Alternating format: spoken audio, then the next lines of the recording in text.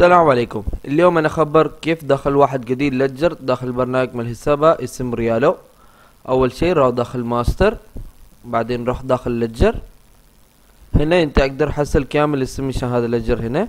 إذا أنت تريد تسوي جديد تسوي هنا new وويش أنت تريد تسوي واحد جديد ledger أنت تريد تسوي ledger مشان واحد bank account ولا مشان expense ويش أنت تريد؟ أنت تقدر تسوي هنا.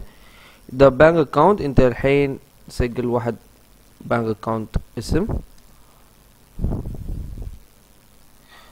وخلي هذا account type داخل bank account زين. إذا أنت تريد تسجل ال account number مشان هو أنت تقدر تسجل. وبعدين سوي save شكرا.